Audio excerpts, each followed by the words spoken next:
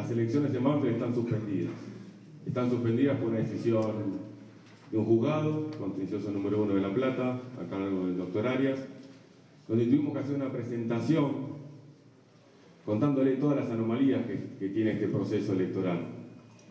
Recuerden que este proceso empieza cuando se conforma la Junta Electoral, en donde todas esas irregularidades y cada una de ellas fueron notificadas verbalmente en todas las actas, después a través de cartas, cartas documento, que no tuvimos respuesta.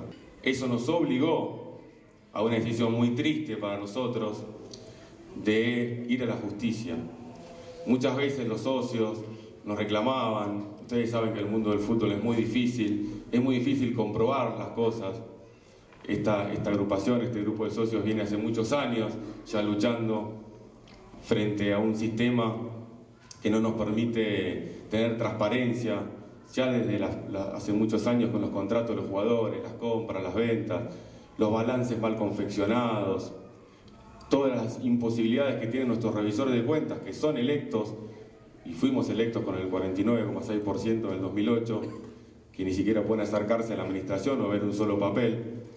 El juez entendió que las condiciones para esta elección no están garantizadas. El juez entendió que las irregularidades había que, por, lo menos, eh, hacer una, una investigación profunda. Realmente fuimos a judicializar que no podemos ir a una elección si no sabemos quiénes son los socios. En el día de hoy a la mañana, el club fue notificado fehacientemente de la resolución del juez Arias a través de la escribana y con las facultades que le da el artículo 143 del Código Procesal Civil de la provincia de Buenos Aires. Así que el club está notificado de la resolución. Si lo que vos me preguntás es si el club de todos modos notificado hace las elecciones, naturalmente nosotros la vamos a impugnar. A mí como socio vitalicio 2833 me gustaría que el club, en vez de recurrir a una medida judicial, presente los papeles, porque eso es lo que estamos buscando.